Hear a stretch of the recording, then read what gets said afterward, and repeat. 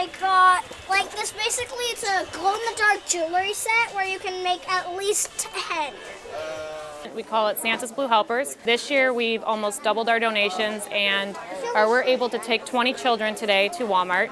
Um, we bring them in here to our community room. We give them a pizza party. Um, they get some pizza chips. They get to talk with everybody. All these kids go to school together, so they all know each other. Um, we also have a surprise visitor coming in to see the kids.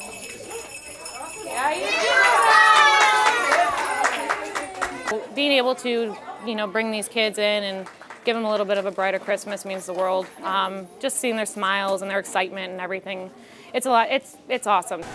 Super awesome. They're so appreciative for this opportunity that they want to spread that to their other family members, and that's what's really rewarding for this because you can see the goodness in these kids' hearts and you know where their heads at, and they want to do more for other people in their family that they love as well. Thank you. Thank you for all this fun time.